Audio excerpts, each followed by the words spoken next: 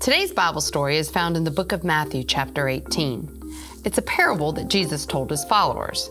It's called a parable because although it is a made up story, it has a very important lesson behind it. There once was a king who decided it was time to collect all the money he had loaned out to his servants. There was one servant in particular who owed him an amount equal to like millions and millions of dollars. So the king said, Bring that servant to me. The servant came into the king's court and knelt down in front of the king. The king said, Servant, you have a large debt that you owe me. You must pay it now or else. The servant was desperate. He replied to the king, Oh, king, please be patient with me and I'll pay it. The king felt sorry for the servant and said, I've decided to forgive you of your debt. You no longer owe me any money. The servant jumped for joy. He was so excited to be forgiven of the debt. Yippee! Ha ha! He skipped out of the king's court, and on his way out, he ran into a fellow servant. This servant had borrowed some money from the first servant. It wasn't a lot, you know, just like a few dollars. The first servant grabbed the second servant by the throat and screamed, Give me my money! Pay me what you owe me! The second servant began to beg, Oh, please, sir, give me more time. I will pay you back. Have mercy on me. But the first servant demanded that the second servant be thrown into prison until he was able to pay the debt. Meanwhile, the king heard about what the first servant had done. He demanded that the servant come back to his court. He said, You wicked servant, I forgave you that huge debt. Shouldn't you have forgiven the other man? I command that you be thrown into prison until you pay back every penny of the money you owe me. And that's exactly what happened. In your lesson today, you're going to learn what Jesus was trying to teach us through this parable. You're going to learn that you must forgive others as you have been forgiven. Listen closely, it's a very important lesson. All right, guys, forgive everyone. Woo! This is a tough lesson, but it's a really good one, guys, because um, unforgiveness can keep you from your destiny and it makes you really unhappy. So we definitely need to talk about this, all right? So have you ever been done wrong? Have you ever done wrong? I'm sure you have. Has somebody done something to you that was awful? I mean, stolen something from you, hurt you physically, hurt you um, emotionally called you names. I don't know. I'm sure maybe all of it, right? Uh, I, me too. I've my. I actually have a big sister that would torment me when I was little. She put daddy long leg spiders on my head. Um, and what do you feel like doing when someone does something wrong to you? You know what I feel like doing? I my first reaction is I want to get them back. And I did when I was little. I actually kicked my sister in the knee with a roller skate. That was a bad choice. So our but our, our first reaction is we want them to pay for what they did, right? We want to get them back. Um, but God says no. He says no, don't do that. He says forgive them, which basically means let it go. Don't make them pay you back and forgive them from your heart. Almost forgive and forget, you know, just psh, like it didn't even, like it never happened. He wants us to forgive them. And why? Why would God ask us to do that? So let's take a look at this, all right? Okay. So our first thing is number one, choosing not to forgive others hurts me more than it hurts them. And what does that mean? So we're going to actually act like this skull represents the thing someone did wrong to me, okay? Um, let's say like my sister, you know, putting dad, daddy long legs, or actually there, I had a friend who, who did something really wrong to me and she was my friend actually. She, she, she didn't keep her word and it cost me thousands of dollars and she knew it and she did it on purpose and she was looking out for herself about something and it wasn't right. It was really wrong. And, um, to me and she did it. Oh, right? Hurt you right in the heart. Oops, I hit the mic. And um, and and if I just first of all, actually, when it first happened, I did go to God and like, God, make her pay. I was so mad. And um, and and when we try to get that person back, you know, or if we're holding that unforgiveness, like it says, it hurts us. It's almost like like let's pretend this is poison. It's like taking poison. Ah, die, enemy! Get ah, you're gonna get hurt. It's like taking poison, hoping that it hurts the other person. Is me taking poison gonna hurt somebody else? No, it's not, right, guys? And that's what it's like when we hold unforgiveness and want against other people. We are the one, we are the only ones being hurt. They're probably living their best life, not even remembering it, and all we can do is think about that, and it just makes you grumpy and it makes your heart unhappy, guys. That's all it does, okay?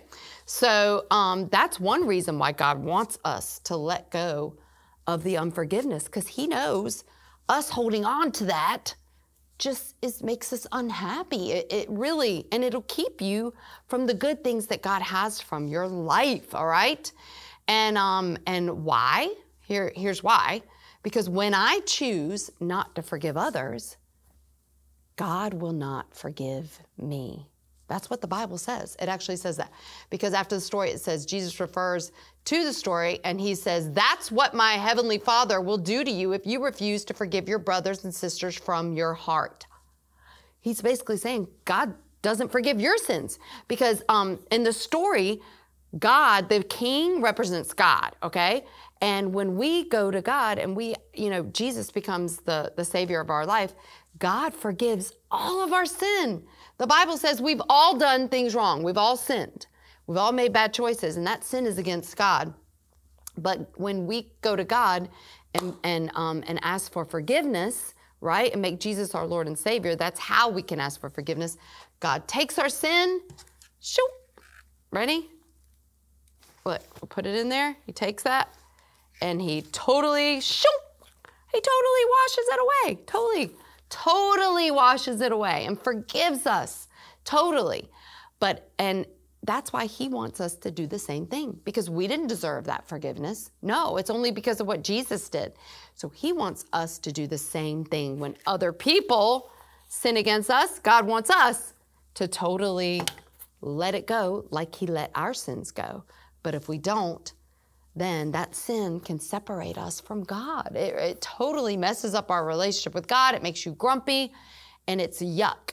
And um, and here's the thing: is that really the other people, guys, they're not our enemies, anyways. We have an enemy. His name is Satan, um, the devil, and he tries to use other people, and that's why it's his one of his ways that he tries to keep us from the good things God has from us. He just wants us angry and bitter and mad and trying to get people back and that just keeps us distracted and unhappy, and it actually never gets them back. so, um, that's one of the reasons why, because God knows if we don't let it go, we're not forgiven, and we need to know. Here's the thing: is some people don't realize just how much they've been forgiven. Some people think, "Oh, I'm so good," you know, and that person just it's so bad. But the truth is, we've all done bad things. We've all done bad things, and we all need forgiveness. So we need to realize that and be free to forgive others, okay? And so what do we need to do? We, forgiveness is a choice, guys. I must choose to forgive. I must choose to set them free. All right? And that's what I ended up doing, guys, because I know what is, I know that I knew about this, okay? And so after I cried to God, I was like, God, just make lightning come down. I mean, I was so angry and so hurt. And then after I cried to God, and it's okay to go crying to God, God, I mean, I didn't hear the audible voice, but I knew. God's like, no, no, I want you to forgive. You know what the word says it says forgive. And Anna, I want you to bless them. Okay? And that's actually what the Bible says. It says bless, the Bible says it. Bless the people that do you wrong. Give to the people that take from you. That's actually what the Bible says. It says pray for those that hurt you. That's what the Bible says. And the reason why, guys, is it because it helps us to get free. It's like a supernatural helping because it's not easy. So I actually, I, I kind of was grumpily about, ah, God, what? But I, I, I obeyed in this case. I, I called up that person. I said, okay, not only I forgive you for, for doing that and costing me thousands of dollars. And not only that, I'm going to give you um, thousands of dollars worth of stuff that that you you know that I could have gone and just taken back my stuff and would have had the other part, you know. Um, but I gave it to her.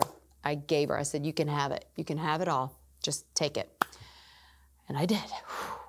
Um, and but you know what? In the end, do you think God took care of me? Yes, He did. First of all, I was free of the forgiveness. You know, uh, of, of the unforgiveness. I was free. Woo. And and guys, I, it was something actually too that I had to. Sometimes, you know. I, I, I chose, I said I forgive this person, and then I prayed for them, and then I blessed them. But um, but it's something that I kind of really had to forgive them a lot because if I thought about it again, it was like I got hurt all over again. It's almost like picking a scab. All of a sudden, it's bleeding again, and I had to choose to forgive again. And and sometimes you just have to say, I choose to forgive. I forgive that person, because um, you might be saying, well, how do I do that? I don't feel like it. Well, the first step is just speaking it and choosing to forgive. Okay, God, I want to obey you. I say, I forgive that person, okay, by your help in Jesus' name. And I bless that person. Please, God, I pray for them. I pray that they can know you. I pray that they can fall in love with you. I pray for help for them. Um, and then I'm telling you, it's it's a step number three, but it's a it's a it helps. You can bless them you can actually do something nice for them. Yeah. And, and it's supernatural. And you know what ended up happening in the long run for me? Um, because God only tells you to do this because God's looking out for you, by the way. God's never trying to take anything from you. He's trying to help you. And in the end, when I did that, um, well, actually, right after that happened, we got water damage at our house. And I was kind of like, God, what are you doing? I, I'm like sitting here doing what you asked me to do. And now I've got water damage. Something happened with the bathtub and there was water all over my house. But you know, because of that water, we called, we got it fixed, called a plumber, got it fixed. The insurance people came out and they gave us thousands of dollars to fix it. And I got a brand new kitchen. And because we did the work ourselves, I got brand new appliances. And then we sold our house and um, God multiplied and I got thousands and thousands of dollars back. Uh, so God paid me back way beyond what I had been taken and what I gave. God took care of me, and He's going to take care of you. But if we try to make the person pay, you're to pay. Ah, that's like taking the poison, and nothing ever is going to get better. And I'm telling you, probably that person's going to have better things happen to them. I mean, so, but if we just let it go, God's going to take care of us and God will deal with the other person because the Bible says you reap what you sow. So eventually, that person is going to pay in some way for that hard thing, but not as long as you're trying to make them pay. So, guys, I'm I just I'm telling you, God wants good for you, and He only wants good things. So follow Him, do what He says, obey Him, and really, we just like that story, we need to do it really because He did it way more for us. It is like he's forgiven us millions of dollars. And when we're trying to make someone else, when we un- hold unforgiveness against them, it is like holding $10 over them. It really is. And, um, and you need to pray for God's help to be able to see that because, um, because it is. And, and so, guys, this is supernatural. You can't do this without God's help. And like I said, it's a choice sometimes. You might not feel like you have forgiven them. That's why doing these extra things kind of helps you, Ugh, helps it get it away. And you might have to forgive them a hundred times a day. Every time you think about it, oh, I choose, I forgive them, God, I forgive them. I don't want it. I don't want that unforgiveness. I bless them. I pray for them give them, look, I got someone did us wrong too. Again, people are going to do you wrong all throughout life, just so you know. It's just going to happen. And you're going to do people wrong too. There it is. And you need forgiveness. Um, and even though you might not want to, okay? Uh, and I forgave them. And at first, I, I mean, guys, I'm telling you, it's not like I'm perfect. I don't struggle. I struggle when this this other person had done me wrong. They actually done my husband wrong, mainly more. Me too, but I just told I actually went around and told everybody, can you believe this? Can you believe they did that? I mean, that's why I did it first. That was sin. I had to ask God for forgiveness, okay, too. I had to ask for forgiveness for doing that, running my mouth. I was so mad.